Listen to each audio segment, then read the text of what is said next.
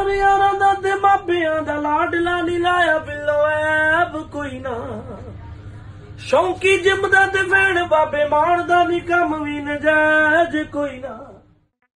ਹਰ ਇਨਸਾਨ ਕਈ ਵਾਰ ਤਿਆਰ ਹੁੰਦਿਆਂ ਹੋਇਆ ਆਪਣਾ ਕੋਈ ਫੇਵਰਿਟ ਗਾਣਾ ਗਾਉਂਦਾ ਹੈ। ਔਰ ਹਾਲ ਹੀ ਦੇ ਵਿੱਚ ਰਣਜੀਤ ਬਾਵਾ ਨੇ ਆਪਣੇ ਸੋਸ਼ਲ ਮੀਡੀਆ ਅਕਾਊਂਟਸ ਤੇ ਇੱਕ ਵੀਡੀਓ ਸ਼ੇਅਰ ਕੀਤੀ, ਜਿਸ ਦੇ ਵਿੱਚ ਉਹ ਕੋਈ ਗਾਣਾ ਗਾਉਂਦੇ ਹੋਏ ਨਜ਼ਰ ਆ ਰਹੇ ਨੇ, ਜਦ ਉਹ ਤਿਆਰ ਹੋ ਰਹੇ ਨੇ। ਅਤੇ ਨਾਲ ਹੀ ਆਪਣੀ ਆਡੀਅנס ਤੋਂ ਵੀ ਪੁੱਛਦੇ ਨੇ ਕਿ ਤੁਹਾਡਾ ਫੇਵਰੇਟ Song ਕਿਹੜਾ ਜਦ ਤੁਸੀਂ ਤਿਆਰ ਹੁੰਦੇ ਹੋ। ਸੋ ਤੁਸੀਂ ਵੀ ਦੇਖੋ ਰਣਜੀਤ ਬਾਵਾ ਦਾ ਉਹ ਵੀਡੀਓ ਯਾਰਾਂ ਦਾ ਤੇ ਮਾਪਿਆਂ ਦਾ ਲਾਡਲਾ ਨਹੀਂ ਲਾਇਆ ਬਿੱਲੋ ਐਬ ਕੋਈ ਨਾ।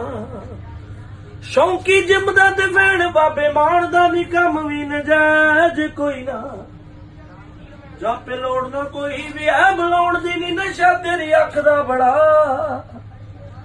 ਛੇਤੀ ਛੇਤੀ ਪੱਟ ਲੈ ਬਦਾਮੀ ਰੰਗੀ ਐ ਨੀ ਮੁੰਡਾ ਤੇਰੀਆਂ ਸਹੇਲੀਆਂ ਨੂੰ ਜੱਚਦਾ ਬੜਾ। ਪੱਗ ਬੰਦੇ ਬੰਦੇ ਜੇ ਤੁਸੀਂ ਇਦਾਂ ਗਾਣੇ ਜਿਹੜਾ ਤੁਹਾਡਾ ਫੇਵਰਟ ਗਾਣਾ ਉਹ ਗਾਉਂਦੇ ਪੱਗ ਬੰਨੋ ਨਾ, ਤੇ ਬੜਾ ਮਜ਼ਾ ਆਉਂਦਾ। ਤੇ ਆਪਣਾ ਆਪਣਾ ਗੀਤ ਗਾਇਆ ਕਰੋ ਫੇਵਰਟ ਜਿਹੜਾ ਚੰਗਾ ਲੱਗਦਾ। ਮੇਰਾ ਅੱਜ ਕੱਲ ਇਹੀ ਆ, ਮੇਰਾ ਆਪਦਾ ਹੀ। Thank you so much